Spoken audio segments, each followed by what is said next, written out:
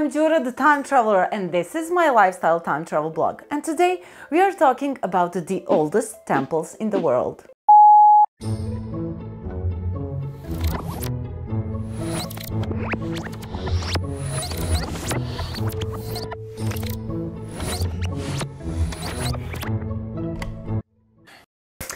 Is the cradle of civilization? Well, if we are talking about the first permanent settlements and the first human attempts to change the nature, that is in the Fertile Crescent, in the Near East. Because that is the location where animals and plants were domesticated and where we have those real settlements together with temples. So it seems like the people started building real homes, real houses and temples at the same time and that is during the 10th and 9th millennia BC. So today we are going to talk about Göbekli Tepe, Karahan Sayburç and Yerf al Ahmar. In these settlements we have both public and domestic buildings, which means that all the areas of life were included, so practical and symbolic. Based on these public buildings we know that there were communal projects and communal projects you cannot have without a community. So they had real social organization, they had labor division and probably someone to organize them in some way, sort or form. And they were filled with symbolic. So they were probably a central stage for some rituals and for some activities, manifestations or some performances. And these buildings are so magnificent, they are so well preserved, they are so well built, and they are true wonders of ancient engineering. And that is why they are in center of numerous conspiracy theories, which is in one hand understandable, in the other hand, completely wrong. Let's start with Göbekli Tepe, the settlement in the Şanlıurfa region. This settlement was established some 9500 years BC and it lived until the 8000 years BC and it is the most famous for its spectacular temples. At first, when this settlement was discovered in 1995, it was thought that it was only a religious center that only temples existed here because there were no domestic houses, there were no domesticated cereals or domesticated animals, and there was no permanent water source. And it was interpreted as this religious center for hunter-gatherer communities that lived in the nearby areas. It was thought that from time to time these communities gathered here and that they built and used these temples for hundreds of years. Lately some new discoveries changed this picture completely. Now domestic houses were found and inside them we have hearts, we have bone tools, we have evidence for stone and bone bead production, and we do know that they harvested and prepared meals from wild cereals, and we do know that they hunted gazelle, oryxes, and they probably also made alcoholic beverages. And we have containers that they used for drinking and that is thin-walled stone vessels.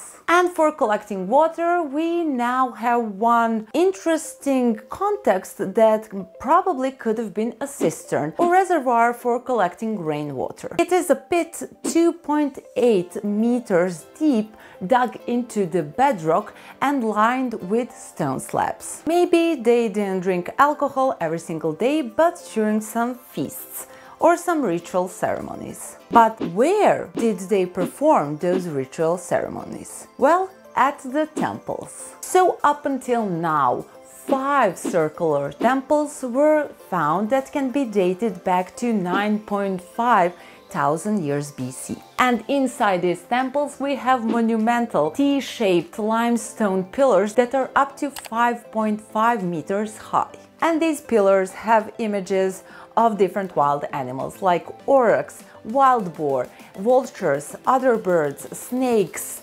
foxes, and also schematic representations of humans. And the biggest pillars were at the center of this temple, and the two central pillars were the tallest because of the roof. The walls of these temples were made from stone. And these round temples were used time and time again for some 800 years so until 8.7 thousand years BC. Now we are moving on to a new site, the site that was newly discovered, which is Karahan Tepe, and it is dated back to 9.4 thousand years BC. Here we also have a mix of residential and public buildings, but also a quarry, because this site was on a limestone plateau, just like the Göbekli Tepe. But there are two extremely interesting and completely different public buildings, and they are named structures AD, AB and AA. So the structure AD is the biggest one and it resembles the temples from Göbekli Tepe. It is partially carved into the bedrock and it also has walls made from stone.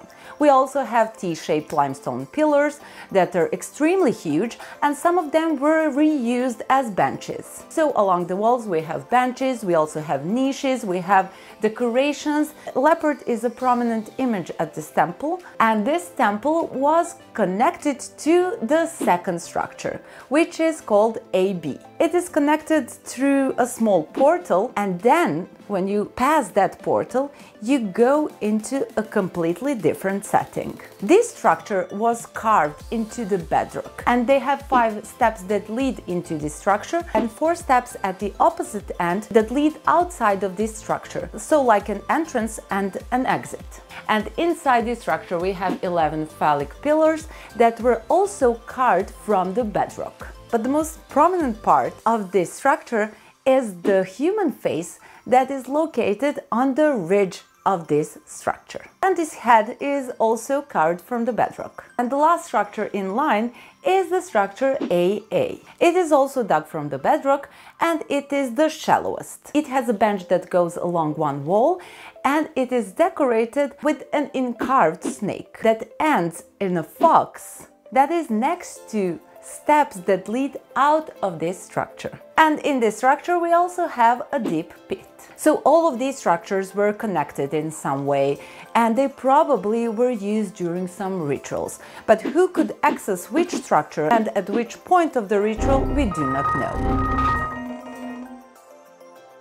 And now we have one site in northern Syria, and that is Yerf el Ahmar. It was occupied between 9.2 to 8.7 thousand years BC. It is now under the Lake Assad and it was excavated during the 90s. This was also a regular settlement with domestic and public buildings. And we have two amazing public buildings. They were both subterranean and they're from two different periods. The older one was divided into six cells with a clear central part of this building. It had stone retaining walls and 10 wooden pillars that supported the roof. We also, of course, have benches. And before this temple was buried, a headless man was placed at the center of this building. This building was probably multifunctional. It served as a collective storage facility, but also for some rituals and meetings. The younger communal building was a bit different. It was not divided into cells, it was also subterranean with stone retaining wall and some 30 wooden posts embedded in this wall. But it was not divided into any cells. It only had one bench that went along this wall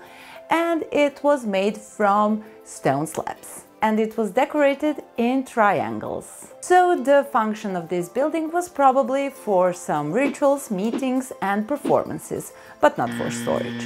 Another recent find comes from the site of Sayburç in southeastern Turkey. Only a part of a communal building has been excavated at this site because the rest is under the modern houses. But we do know that this was a round communal building with benches. It had the stone retaining walls and probably a T-stone shaped pillars which haven't been found so far. But what is interesting is that from the bench that was found comes the oldest narrative carving in the world. We have one story that is depicted in five different figures. We have two human figures and three animal figures. So one male figure is carved in high relief and he is facing the room. And he's also wearing a collar like the Urfa man and he's holding his phallus. And on both sides he's faced by two leopards that are pretty angry, they're baring their teeth, they have raised